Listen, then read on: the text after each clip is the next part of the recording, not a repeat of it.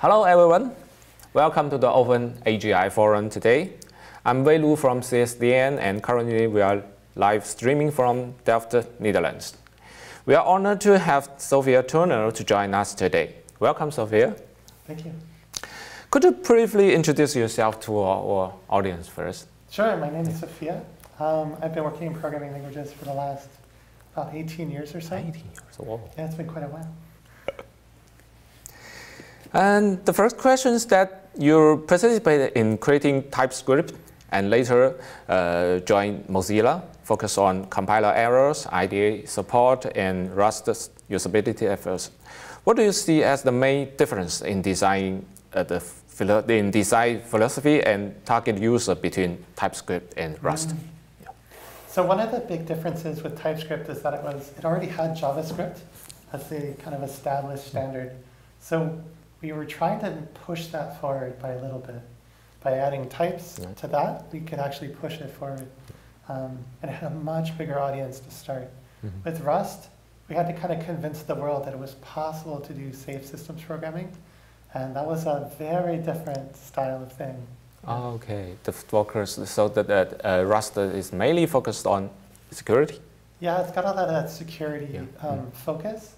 And we had to, because C and C++ were the standard, yeah. everyone knew those, no one thought it was possible to have a systems language that was safe by default. Mm -hmm. And then Rust had to kind of prove itself. Yeah. You have worked on many influential, influential projects like TypeScript and Rust, and now a member of the Nushell core team. How will you transition between these uh, communities and what strategies do you adopt to maintain the effective communication and collaboration mm -hmm. with these diverse groups? Yeah, I feel like yeah. each one is different. Um, with Nushell, what we do is we have every week we have a meeting, and anyone who wants to can join. And so it makes things very flat. So there's no one that's like the boss. Uh-huh. Um, sometimes when I'm there, I think they treat me as the boss, but I try not to act like the boss. Oh, okay. And just try to make it possible that anyone who wants to contribute can just come and be part of the conversation. And when they um, are part of the conversation, they're actually helping to create the future of Nushell as part of that. Mm-hmm. So yeah, I, I really like that kind of open style that Nushell has. Okay. At Mozilla, you had you were involved in Rust compiler error handling and ID support. Could you share specific improvement or achievement? How this improvement impacted everyday programming experience of the Rust yeah. uh, developers? I mean, one of the one of the things I'm kind of proud of that I worked on was that when we made the Rust error messages, that was one of the first things I did when I joined Mozilla was mm -hmm. kind of design the new error messages. Yeah. And now that design is in all kinds of different tools. So lots of compilers and lots of command line tools use that, that style of error message. So um, that kind of influence, I, I, don't know, I just really appreciate that I have been able to do that. Okay. So how has your experience in the Rust core team influenced your view on programming language or mm. development tools? Yeah, I think the core team kind of taught me once you get to a certain size. So when I joined Rust core team, there was millions of Rust developers and hundreds of Rust contributors in the different teams.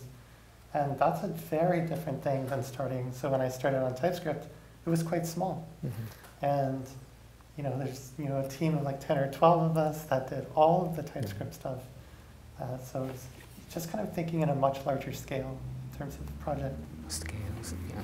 So what quality or strategies should a successful programming language core team possess, in think, your opinion? I think one of the main ones is being transparent, being able to understand the direction of the project, being able to contribute to the direction of the project, and being able to kind of um, kind of feel the, if I could say it this way, feel the philosophy so you know the direction and you kind of agree to it, mm-hmm. and then everyone pulls together. I feel like that is really important. Um, if everyone pulls in different directions, it's hard to go in a direction. Right? Yeah. Because you stay still. So, as one of the creators of the Rust Leader Council, uh, Leadership Council, how do you view the role of the community governance in the success of an open source project? Yeah, um, Um, that's really, really complicated. I mean, I think the short answer is that having something that can survive any single person leaving, mm-hmm. right? If the project requires a certain person to, to be there mm-hmm. for it to succeed, then it's not a healthy project. Oh. And that's okay early on when the project's small, but over time, you need something that kind of lives on and on and on mm-hmm. as people come and go. Because people have lives, you know, they come, they go. But the project, for it to be strong, needs to be able to, to continue. Oh, that's very good. Yeah. So what's unique about the Rust community in this regard? What is what? Uh, what's unique, unique mm -hmm. about Rust think, community in this? Yeah, I think one of the most unique parts of the Rust community is it's has a very strong sense of what to write, has a very strong sense of um, trying to, like, like whatever is going on, trying to understand what the right thing is, and then to, to push for that. So it doesn't get lazy with itself, if that makes sense. Mm -hmm. It's always trying to be a little better. Okay. So given your extensive experience in programming language and development tools, what are your expectations or predictions for Rust's future development? Mm, I mean, I feel like it's it's still getting started. We're, I mean, we're seeing Rust in different new industries. Um, seeing it in things like the automobile industry a couple years ago and mm -hmm. continuing to grow. I, I don't know where the limit is. I think it's just going to keep um, keep growing. Okay. So what's the key issues or challenges do you think it needs to handle for the coming years yeah, for the I think development? One of the, well, there's like kind of a two-part answer, I think, for that. Mm -hmm. um, one of them is that we were talking about the vision and everyone understanding which direction they should go. Yeah. So it kind of needs a team to help set that direction and to describe that direction based on the companies that are using Rust and the people that are using Rust. All that information can turn into, okay, now we go this direction. Yeah. Mm -hmm. And then we go that direction. I think that would help um, as it continues to grow. Yeah. And with your experience, what excites you most uh, about future development or new features in Nushell? Hmm. Yeah. Um, well, I'm really excited about getting to 1.0. I feel like a lot of people are waiting for Nushell to be 1.0 before they actually try it. Yeah. And more and more I'm seeing people that were kind of hesitating on Nushell try the recent versions mm -hmm. and saying, well, okay, I'm not going back to bash. I'm not going back to other, yeah. other shells. So we know it's got the right like mixture of features to really attract people to it mm -hmm. and to keep them using it. Um, but we needed to get more stable. We needed to hit 1.0 so people can start building out, you know, real programs with it. Yeah. So finally, a little bit about my domains. Mm.